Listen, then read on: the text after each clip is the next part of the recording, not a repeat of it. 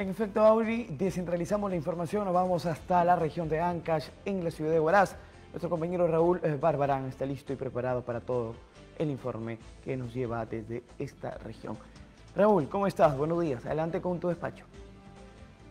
Muy buenos días, Auri Jonathan. Buenos días a los televidentes de Sol TV. A esta hora de la mañana nosotros nos encontramos en lo que es la vía nacional eh, de la ruta Huaraz-Casma. Eh, justamente hemos llegado hasta aquí para ver el estado de esta vía, ya que cabe indicar que la carretera Huaraz-Pativilca está en mal estado y vemos que también esta vía Huaraz-Casma en varios tramos, en varios kilómetros también necesita mantenimiento, por ende el reclamo de eh, los choferes que transitan a diario por esta zona, ya que la vía está con algunos huecos, también podemos ver piedras y el mal estado de esta vía nacional. En imágenes estamos apreciando entonces la situación, son varios kilómetros, nos indican que la vía está en mal estado y por ende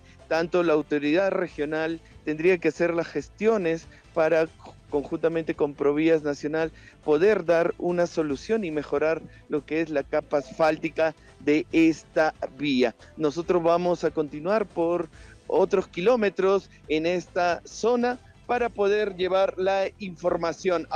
Jonathan, contigo en Estudios Centrales. Sí, una preocupación latente, Raúl, que se tiene y tiene, vale redundancia también, que ser resuelto por las autoridades competentes. Muchas gracias. Ese es el panorama en, estos momentos en la ciudad de Huaraz, en la región de Ancas.